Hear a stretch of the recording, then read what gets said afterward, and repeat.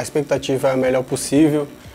Acredito que o projeto que foi me apresentado é, me entusiasmou bastante como atleta de futebol. Sou um cara que tem um pensamento muito grande de crescer cada vez mais e o projeto do, do clube é esse, então acredito que vamos nos ajudar em relação a isso. Referente ao futebol paraibano, eu sou nordestino, né? eu sou daqui do lado, sou de Recife.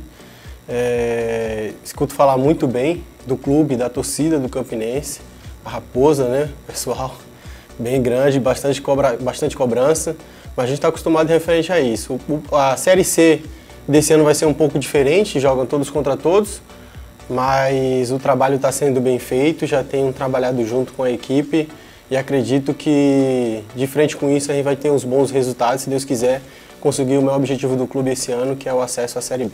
É... Tinha conversado com algumas pessoas, alguns amigos referente a isso.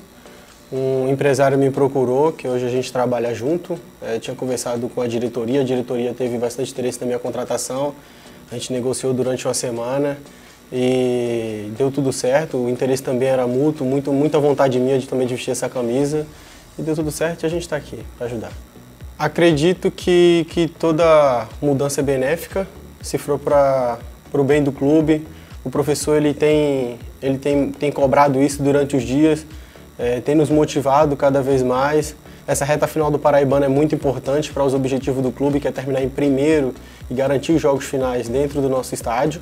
E vamos trabalhar muito para isso e, se Deus quiser, conseguir o primeiro objetivo, que é, que é o título paraibano, o BI, né?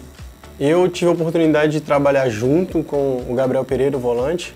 A gente trabalhou junto na base há muito tempo atrás. Eu, é, do pessoal eu nunca joguei contra, não que me recordo assim de ter jogado contra, mas trabalhei junto com o Gabriel sim na base do Santo André.